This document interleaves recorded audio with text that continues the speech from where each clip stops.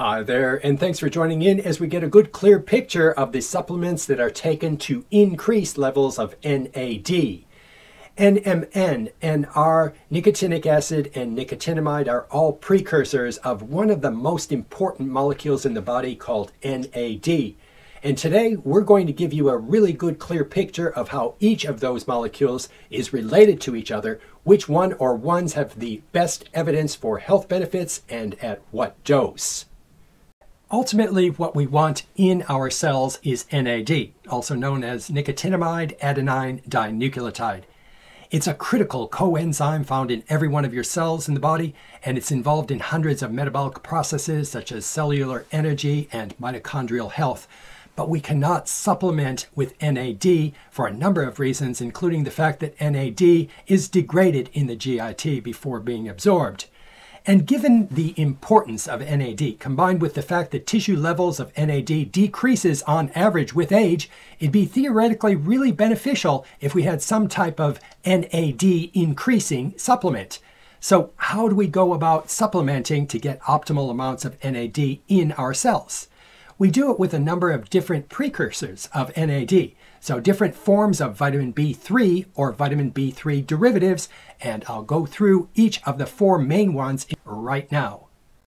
Nicotinic acid, abbreviated as NA, has been around as a supplement for over 80 years. This is the one that they use in megadoses of 1 to 4 grams per day for improving lipid levels, and it also results in flushing of the skin. But NA supplementation actually increases insulin resistance so it doesn't appear to be the ideal supplement. NR, or nicotinic riboside, is another precursor of NAD, and it's been the subject of a number of human studies recently, but unfortunately, the results are not as encouraging as with other vitamin B3 derivatives. Niacinamide, also known as nicotinamide or simply NAM, is another precursor of NAD, and supplementation has been shown to significantly increase NAD levels improve skin wrinkles and elasticity, improve recovery time in COVID patients, improve muscle strength, help grow new mitochondria, which are the powerhouse of the cells, and resulted in reduced rates in new non melanoma skin cancers. So I'll come back to that one in just a minute. And finally, NMN or nicotinamide mononucleotide is quite a new supplement. The human trials of NMN only started in 2022, but they seem to be promising as doses as low as 100 to 125 milligrams per day have shown to have significant benefits.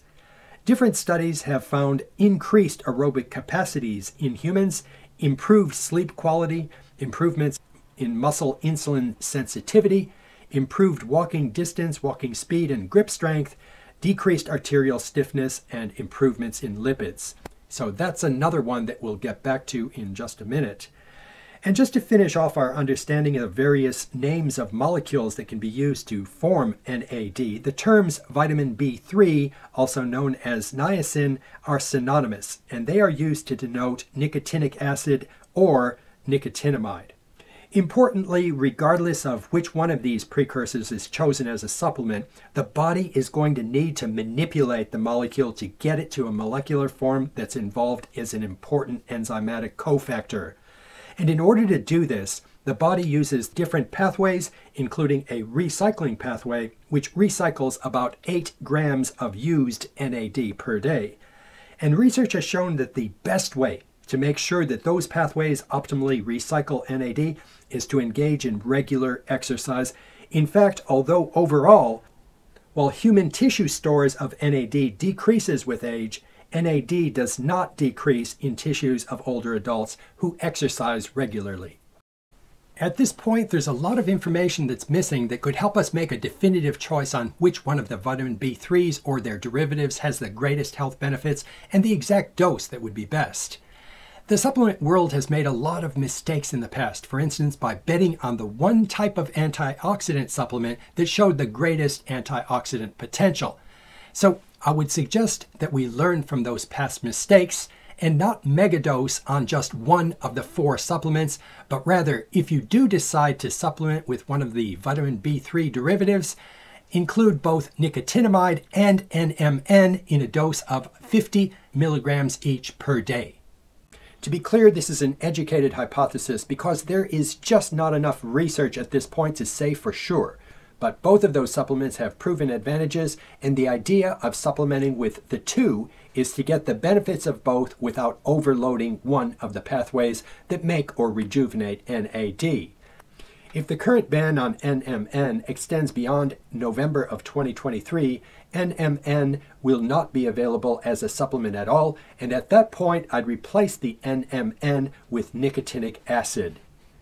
The population that would be likely to benefit from that or any of the NAD precursors includes older individuals, individuals who have a diet that is low in vitamin B3 rich foods like fish, poultry, red meats, nuts, and seeds, and individuals over the age of 40 who do not engage in regular exercise. But having said that, research shows that the exercise is the most important factor in increasing NAD levels. Make sure you avoid supplements if possible during pregnancy and always consult your healthcare practitioner before starting any supplementation.